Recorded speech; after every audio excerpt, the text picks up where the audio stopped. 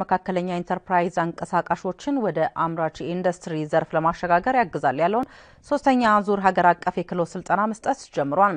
በስልጠናው ከ34 ሺህ በላይ ሰልጣኞች እንደሚሳተፉ የተገለጸ ሲሆን በተለያዩ ማዕከላት ስልጠናው ከግንቦት አንድ እስከ ግንቦት አምስት እንደሚቆይም ታውቋል። በኢትዮጵያ ልማት ባንክ የሐዋሳ ዲስትሪክት ስራ አስኪያጅ ወይዘሮ ዘሪቱ ነጋልኝ የስልጠናውን መሰረታዊ ዓላማና የሚጠበቁ ውጤቶችን በሚመለከት ሀሳባቸውን በዚህ መልኩ አካፍለውናል።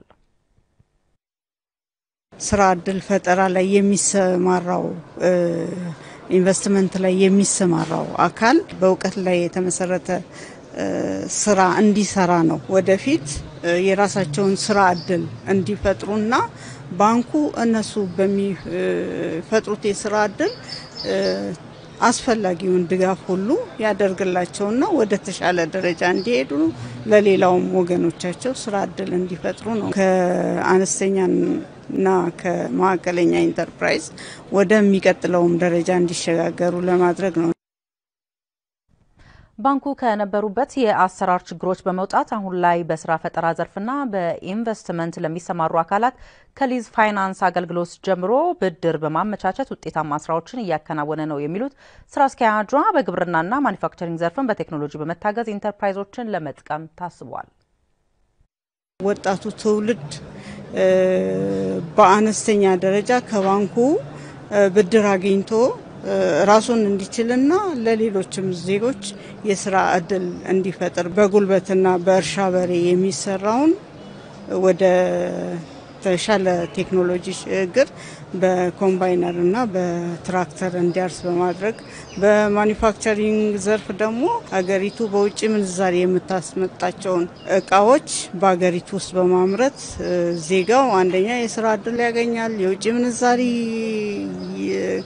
በውጭ ምንዛሪ የሚመጡ እቃዎችን እዚሁ ማምረት ይቻላል። የአገሪቱን ኢኮኖሚ በመደገፍ አኳያ ባንኩ ትልቅ አስተዋጽኦ ያደርጋል።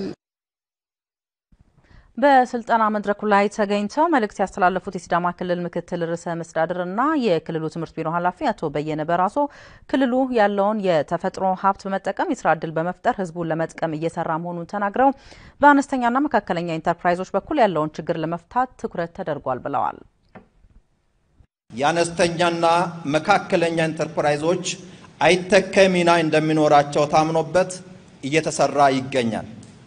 ከግብርና ወደ ኢንዱስትሪ ለሚደረገው ርብርብም እነዚህ ኢንተርፕራይዞች እርስ በርስ ተሳስረው ለትላልቅ ኢንዱስትሪዎች መሰረት የሚሆኑ በመሆናቸው በሂደቱ የሚገጥሙ የአመለካከት የክህሎትና የአቅርቦት ማነቆችን ከባለድርሻ አካላት ጋር በመተባበር እየፈታ ለመሄድ ክልሉ በቁርጠኝነት እየሰራ ይገኛል።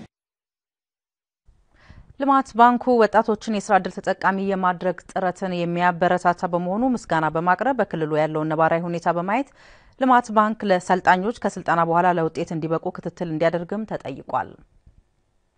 የካፒታል ዕቃ አቅራቢ ድርጅት ያልተደራጀ በመሆኑ እነዚህ ሰልጣኞች ስልጠናን ወስደው ወደ ስራ በሚሰማሩበት ጊዜ መስፈርቱን ከማሟላት አንጻር ተግዳሮት ሊገጥማቸው ይችላል የሚል ስጋት ስላለን የኢትዮጵያ ልማት ባንክ መስፈርቶቹ አንጻር ያለውን ሁኔታ እንዲቃኝልንና ክልሉ አዲስ እየተመሰረተ እንደመሆኑ መጠን እነዚህ ሰልጣኞች ሰልጥነው ፍሬ አልባ እንዳይሆኑ እና እቅዳቸው ተቀባይነት እንዳያጣ አስፈላጊውን ትብብር እንዲያደርግ በዚሁ ጥሬን ማቅረብ እፈልጋለሁ።